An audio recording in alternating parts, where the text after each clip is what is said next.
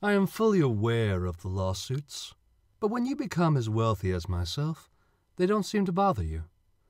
The people that fight will try and stop my production because it's not environmentally friendly. But the fight they want to have is an endurance race. And sooner or later, they run out of spirit, or in most cases, money. So if they want to try, bring it on. Until then, what's next on the agenda? Excellent. Send them in. Oh, Melanie, cancel my three o'clock.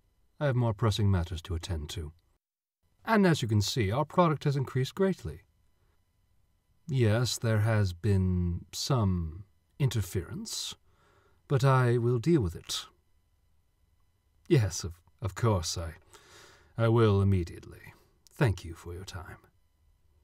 Incompetent idiots. Why must I be forced to do all their dirty work? Oh, very well. Melanie, give me Mr. Murphy on the phone. We have a pest control problem that needs to be dealt with, and I want the best.